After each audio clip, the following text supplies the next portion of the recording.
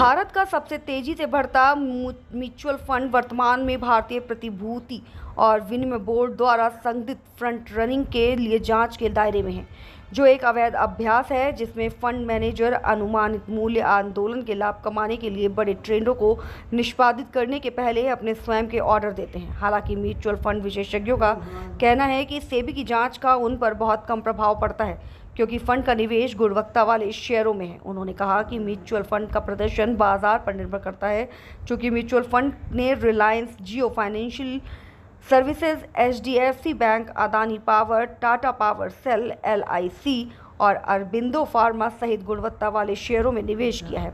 इसलिए सेबी की कार्रवाई के कारण शुद्ध संपत्ति, मूल्य एनएवी में किसी भी गिरावट की संभावना नगण्य है।